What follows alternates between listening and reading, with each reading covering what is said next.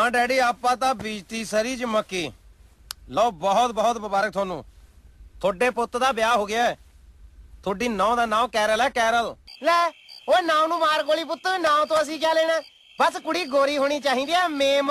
ਇਹ ਤੇਰੇ ਬਾਪੂ ਦੀ ਪਹਿਲੀ ਸ਼ਰਤ ਹੈ।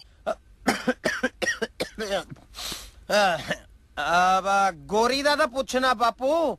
ਉਹਦਾ ਇੰਨੀ ਗੋਰੀ ਹੈ, ਇੰਨੀ ਗੋਰੀ ਹੈ, ਕੇਰਾ ਪਿੰਡ ਆ ਗਈ ਨਾ, ਨੇਰ ਪਾ ਦੂੰ, ਨੇਰ।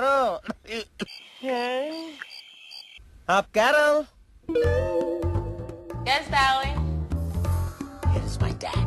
ਆ ਬਾਪੂ ਆਪਣੀ ਨੌ ਨਾਲ ਗੱਲ ਕਰ ਲੈ ਆ ਕਰ ਲੈ ਗੱਲ It's my dad wants to talk to you.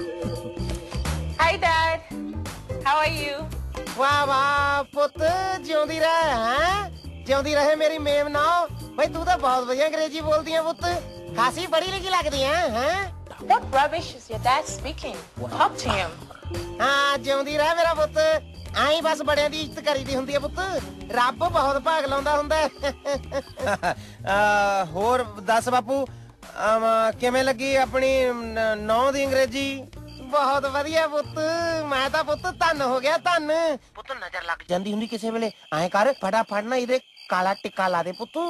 ਅਬ ਅਬ ਕਾਲਾ ਟਿੱਕਾ ਲਾ ਦਾ ਦਵਾ ਬਾਪੂ ਇਹਦੇ ਪਰ ਉਹ ਲਾਇਆ ਪਤਾ ਹੀ ਨਹੀਂ ਲੱਗਣਾ ਕਿੱਥੇ ਲਾਇਆ ਹੈ?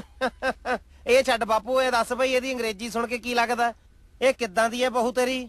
ਪੁੱਤ ਇਹਦੀ ਅੰਗਰੇਜ਼ੀ ਸੁਣ ਕੇ ਤਾਂ ਮੈਨੂੰ ਐਂ ਲੱਗਦਾ ਹੈ ਕਿ ਬਹੂ ਰਾਣੀ ਐਨੀ ਗੋਰੀ ਹੋਣੀ ਆ ਐਨੀ ਗੋਰੀ ਹੋਣੀ ਆ ਪੁੱਤ। ਇਹ ਤਾਂ ਪੁੱਤ ਕੋਕਾ ਕੋਲਾ ਪੀਂਦੀ ਹੋਊ ਤਾਂ ਕੋਕਾ ਕੋਲਾ ਇਹਦੇ ਗਲੇ ਦੇ ਵਿੱਚ ਦੀ ਲੰਘਦਾ ਦਿਸਦਾ ਹੋਣਾ ਪੁੱਤ।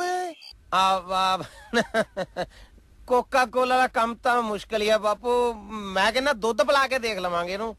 ਐ ਜੱਪਲੀਆਂ ਨਹੀਂ ਮਾਰੀਦੀਆਂ ਹੁੰਦੀਆਂ ਪੁੱਤ। ਇੱਕ ਗੱਲ ਧਿਆਨ ਨਾਲ ਸੁਣ ਪੁੱਤ। ਮੇਰੀ ਇਸ ਗੋਰੀ ਗੋਰੀ, ਚਿੱਟੀ ਚਿੱਟੀ ਤੇ ਪੁੱਤ ਸੋਹਣੀ ਸੋਹਣੀ, ਇਹ ਅੰਗਰੇਜ਼ਣ ਬਹੂ ਰਾਣੀ ਦਾ ਧਿਆਨ ਰੱਖਣਾ ਤਾਂ ਹੈ?